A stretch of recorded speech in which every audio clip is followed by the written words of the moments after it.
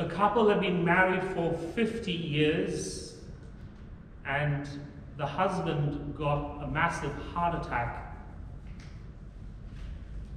and he survived the heart attack. He was nursed back to health by his wife. And from that day on, the wife was very strict in what the husband ate. He was on low fat, no sugar, no fizzy drinks, nothing. He was on a very strict diet, so, so much so, he was so um, geared to only eating these foods. So wherever he'd go, he'd ask where the, these bran muffins are and where this is and that is, and he'd go and have just the low, low fat stuff. Anyway, 10 years after that, uh, they both met in a car accident and died and went to heaven. Well, they lived good lives, therefore they went to heaven. And St. Peter welcomed them at the pearly gates and took them to their, their dwelling in heaven. It was a magnificent house. It had large rooms, large bathroom jacuzzis, and, and outside there was this magnificent spread of food. And so um, the, the man was delighted, and Peter said, Have him to eat, and then we'll come back later and I'll take you out uh, to meet all the others. So they have, uh, they go out and he's looking for all the bran muffins and the low fat food. There's nothing there, it's all full of fat and full of sugar and everything. Anyway, he kind of ate a little bit of everything and then they went out later for lunch. St. Peter introduced them to all the people there and, and then again another banquet there and they go um, and there's all the food and he asks St. Peter, where's, where's the low fat stuff, the less sugar stuff? And St. Peter says, Brother, this is heaven. You don't have to worry about any of these things.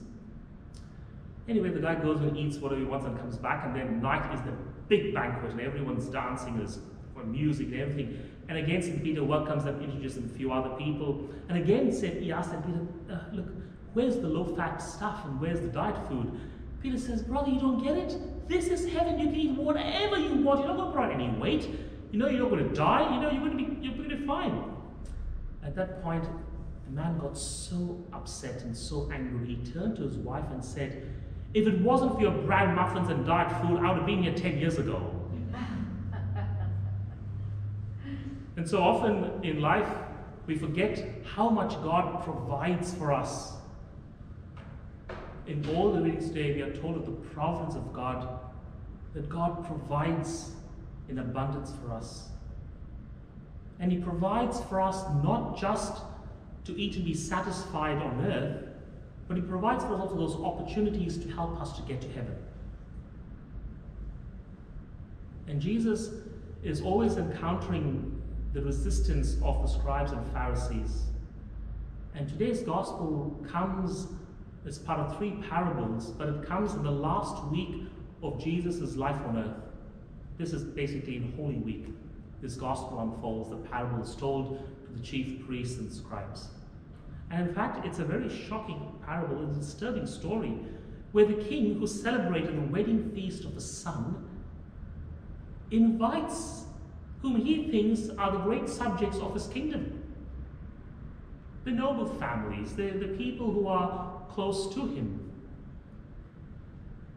And when the time comes to go and call them in for the feast, the excuses they give is so lame. So lame.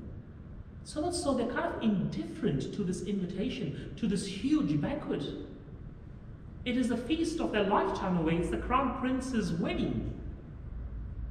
There couldn't be a greater celebration in the kingdom. And yet they all give excuses. And so often we are told about many excuses that people give in our life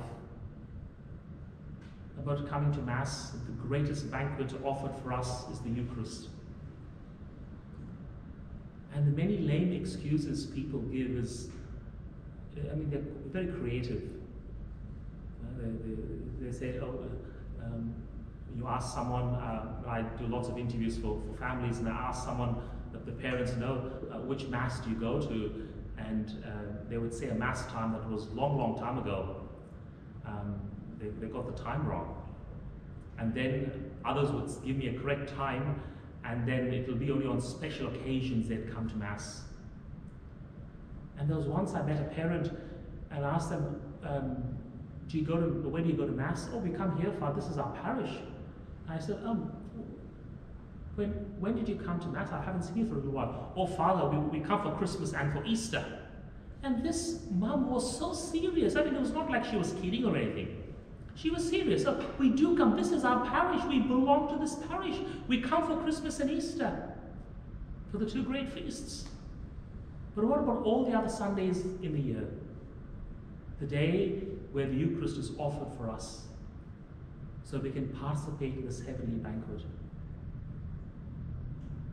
Excuses people give, oh, this is the only is the only time we get to spend with our as a family because we all work and we all are very busy and Sunday is the only day we get to spend as a family. We get to do things together. Can you imagine the indifference that people show to Jesus in the Eucharist Mass? That's the worst part. They haven't got a reasonable excuse. They can't say, Father, I was in hospital for three months. No, I was bedridden for two months. I couldn't get up and go anywhere. But the excuses are so lame. No wonder at the gospel we are told that when all the people arrive, the king comes to greet know, the people who are perhaps the least of the subjects in his kingdom, perhaps on the on Lotus kingdom, but they've been invited to the banquet and they've arrived. And the king notices one person, one man, without the wedding garment. Now, the understanding is that in royal weddings, you know, people come eloquently dressed, and in other places, the king provides the best outfits so that they could all be beautifully presented and celebrate this great feast of the wedding. So you see, all those who are poor, who are traveling, they all come in, they all make the effort to get into this wedding garment the king has provided.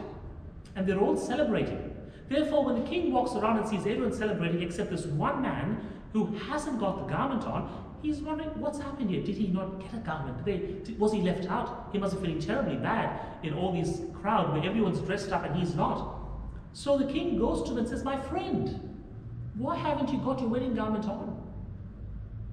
And the man has nothing to say. It's like, well, there was a party on, I just rocked up. Come as you are, that's what they said, so here I am. No, you don't come as you are to the king's banquet. You come presented quite well. And so the king who said to him, friend, is now furious. He says, you made no effort to even put on the garment I gave you. You don't even deserve to be here, but having been here, I've provided the garment. Even then, you are so indifferent. You couldn't be bothered. And as a result, you cannot be part of the celebration, and that's why he's thrown out. Bound hand and foot and thrown out, not just sent out. When we are baptized, we've been given this awesome gift, this garment of grace when our original sin is washed away, we are given this garment of grace so that we can enter humbly yet proudly into this celebration as a child of God. And yes, we all make mistakes in life. We commit various sins, small sins, big sins. But that is why we have the sacrament of reconciliation. We need to go to the sacrament so that we can be purified and cleansed and given the strength to celebrate what God is offering us. So often when we sin, we are in the dumps. We can't celebrate. Even when people are celebrating, we are upset, we are angry, we are hurt, we feel left out and abandoned. Because sin keeps us away from celebration, celebrating God's love for us. So it's very important that we make an effort every day to remember what God does for us each day. Even in this lockdown, you are able to participate in Mass every day if you wanted to. Now, even then, think about it. You know, how do you present yourself a mass? Now, there was a cartoon uh, some months ago where uh, it said the churches are opened up now, and there's a minister preaching from the pulpit, and a couple of parishioners sitting in the front, and then one lady rocks in the door. She's got a coffee mug in, her, in one hand and, and, and pajamas on. She's come to church after three months. She's forgotten how to dress to go to mass. It was a funny cartoon, but a way it's real. I mean, how many of you are presenting yourselves well now as you're participating in Mass? How many of you got pajamas on watching Mass today? No. These are all little things that help us to realize where we are going, what we are doing. And I know some of you watched this Mass recorded later. Well, I suppose if that's what you can do, that's what you can do. But it's hard enough not being able to come to Mass the next best thing is to be able to participate in Mass that is being celebrated live. So you can be present while the Mass is being offered. I mean, you can watch a recorded Mass from 10 years ago. You'll still be hearing Mass. But it's not a live Mass. It's not Mass being offered here that you're participating in, where you can send your angels to be present at the altar at the consecration. You see, there's so many things that we can do and do well in life especially if you're going to Mass. How often you've come late to Mass, left early, looked at your watch when I'm preaching a bit too long, what's how long Father will speak for today? You know? We somehow we get caught up in the pleasures of the world that somehow Mass is depriving us from living our life. Somehow by going to church and staying a little bit longer at Mass, that we are being deprived of doing something else. No.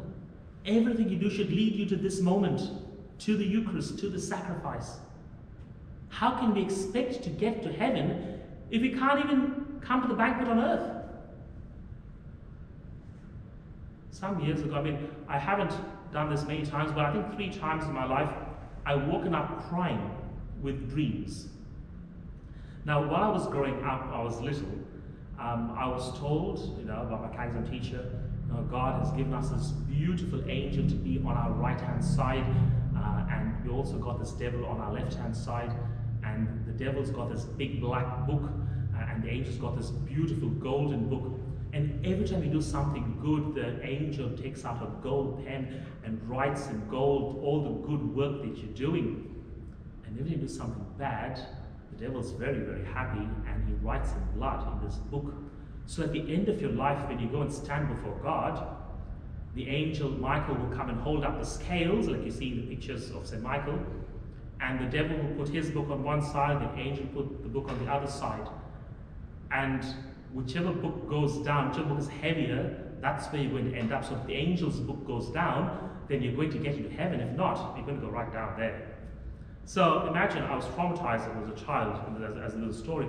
But many years after that, I think it was only about 10 years ago, I woke up crying because the angel's book like missed it by that much.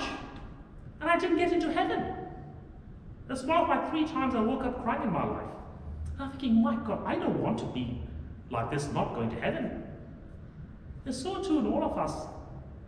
We think we are doing everything right, but we have to examine ourselves truly and see the way we live our life is the Eucharist the center of your life?